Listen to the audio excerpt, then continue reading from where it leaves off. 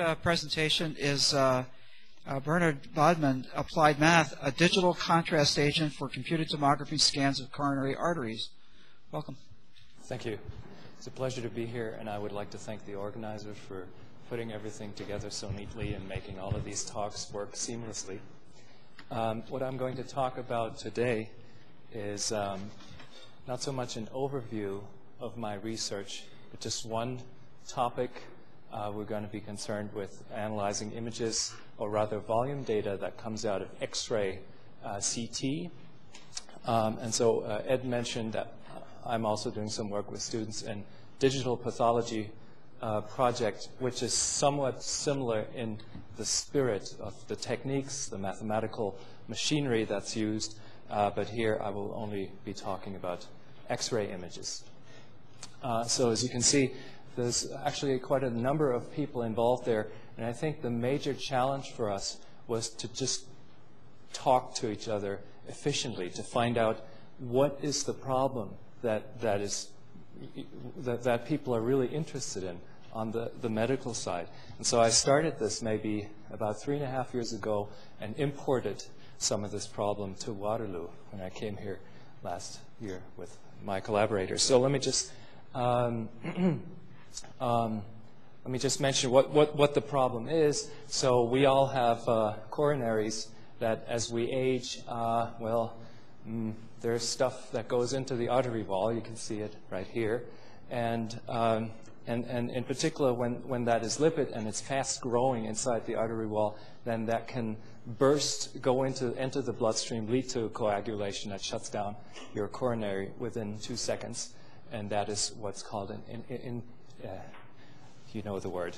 In any case, it's, it's really bad news. Um, and so the problem is that this here is really hard to see on the current screening machinery. So you have a CT scanner, it picks up calcium very well, but it can't really see those lipid deposits. And so what we would like to, to be able to is, is pick up these changes in tissue. So changes in your coronary arteries right on the onset. Um, and so here's my simplified view of a radiologist. So uh, a radiologist, this is how a mathematician would see it. He identifies tissue types. So, oh, here's this, here's this. Uh, then he extracts morphological features, meaning, oh, this is away from the lumen, away from where the blood flows. This is, you know, that's not critical, but here's something very, very close, very, say, big, ready to rupture. Uh, and, and, and then uh, provide a risk assessment, meaning you know, this patient should really go very uh, severe measures of, well, risk factor modification or, or, or even invasive uh, stent uh, um, surgery or so. Okay. And so, uh, as opposed to uh, uh, David Koff's, well, um, comments about the, the huge amount of data that's being generated, well, radiologists may not like it. We're, we're sort of excited about this uh, because we, we, can, we can try and help here. Uh, so our, our task, I see, is take all of this huge amount of data and help the radiologist identify those different tissue types that they're interested in. Now, here, here's some standard uh, off-the-cuff technique that you could use, uh, which is called thresholding.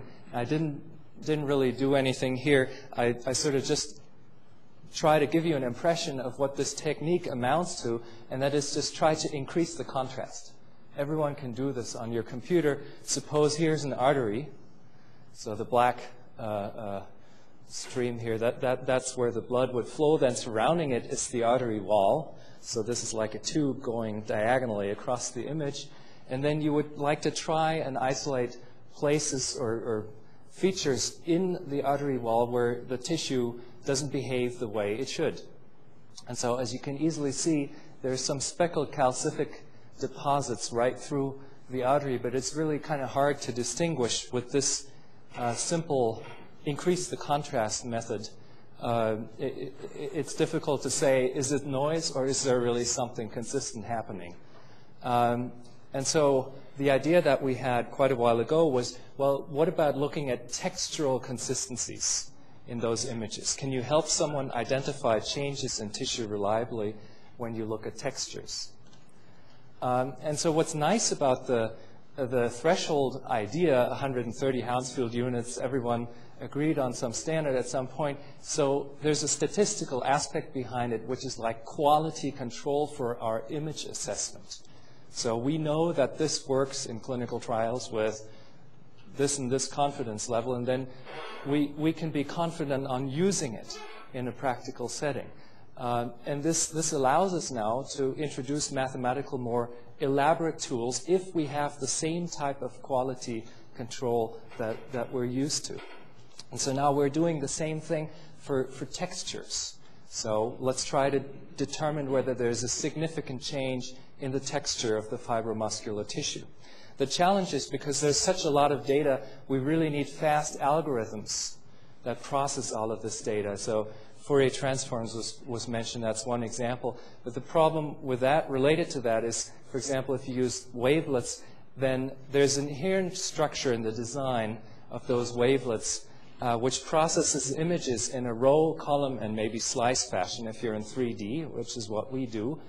Um, and so you, you introduce an artificial directional bias in the processing. And if you're looking at a video stream, maybe that's not so, such a big deal. If you have, have HD TV and you see staircases appearing on people's faces, but if your, your patient's life depends on it, then maybe you do not want to introduce anything such, any such artificial structure. And so let me just show you a comparison of uh, the methods um, that, that, we've, that we've seen so far. So this is the the natural volume data, the, the data that comes out of the machine of this artery, and you see there's this blob of calcium. Here's something where we've tried to increase the contrast and set a threshold that isolates regions where uh, the intensity of the X-ray absorption goes above a certain level. And so here you see a, a calcific deposit sitting inside the artery wall. Now let's compare that to uh, the texture analysis that I was talking to, uh, talking about, based on a construction of wavelets which does not have any directional preference. And here it is. So as you can see, there's a huge change in contrast. You isolate the features that stick out, that don't have the right behavior, as you can see over here, and actually, this yellow here has been classified as lipid, and there's that little bit of blue that's still peeking through the lipid over there. So really, what we're looking at is a calcific core to this deposit.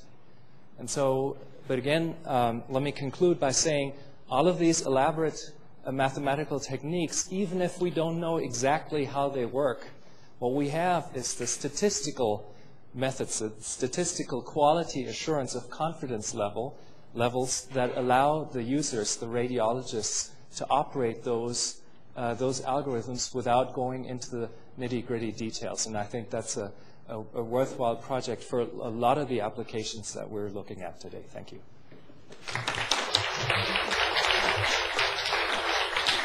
One quick question. Do you have pathology to document the... Yeah, yes, so this, this has been correlated with histopathological sections. Questions, comments here?